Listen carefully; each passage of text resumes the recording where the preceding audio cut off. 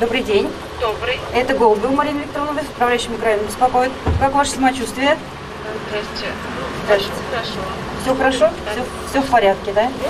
Пациентам с коронавирусной инфекцией, если они болеют не тяжело, можно лечиться амбулаторно, на дому. Однако ежедневно за ними наблюдают, в том числе посещают представители районной власти. Дистанционно по домофону узнают, соблюдают ли больные режим самоизоляции и в чем нуждаются.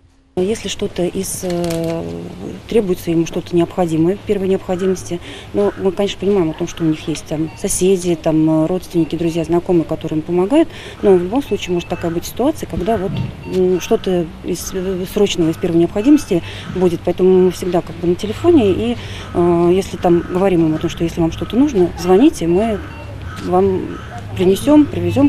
Решение о переводе пациента на дом принимают медики по каждому человеку индивидуально, с учетом всех факторов риска. С начала октября, к примеру, в Кировском районе Самары из тех, кто должен сидеть дома, режим нарушил один человек. За несоблюдение карантина грозит административная ответственность.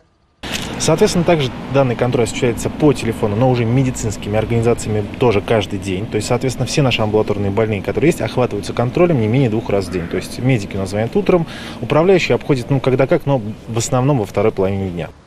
Только за сегодня в Самарской области зарегистрировали 130 новых случаев заражения коронавирусной инфекцией. Общее число заболевших в регионе – 13 444. За последние сутки выздоровели 135 человек, скончались четверо. Власти призывают горожан соблюдать режим самоизоляции и не забывать о средствах защиты. Мария Илчан, Николай Сидоров. События.